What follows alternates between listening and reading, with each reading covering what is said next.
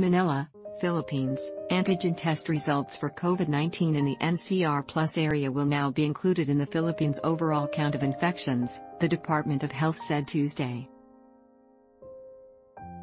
NCR Plus covers Metro Manila and the provinces of Bulacan, Rizal, Laguna, and Cavite.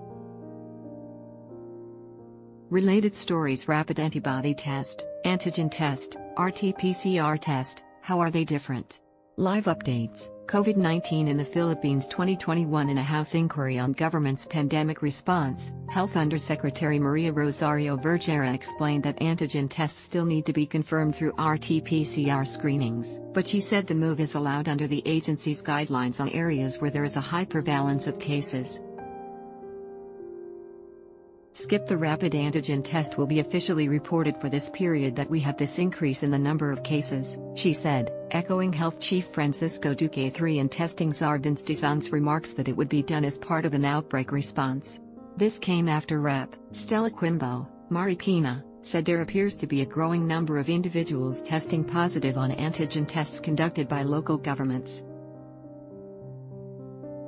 These, however, are not counted as only results from RT-PCR tests are included in the tally. Vergara, however, said persons who turn out positive on antigen tests are not reported by the DOE. Instead, the official said, they are classified as suspect or probable cases. They are not confirmed COVID-19 cases, she added. They are not reported in the case bulletin, but we have the numbers for that and we also manage them. A gap to address in one exchange between Quimbo and Duque, the health secretary admitted that not including antigen test results in the country's overall count is a gap that they recognize and that needs policy review. Testing czar Dizon sought to explain that in NCR Plus alone, daily testing is between 25,000 to 30,000 samples but that this is still not enough due to inherent limitations of the RT-PCR tests.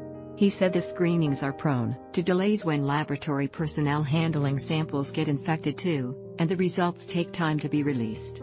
In order to manage a surge this huge, the turnaround time of tests is very important, Dizon said partly in Filipino. Given those two issues in light of the surge, our experts opted to go for antigen tests as these do not need to go through laboratories. As March comes to an end, the Philippines continues to report significant increase in new coronavirus cases, with over 9,000 added in recent days. The numbers have propelled the country's total to 741,181 by March 30, with active cases still at an alarming figure of 124,680. Christian Deiparine,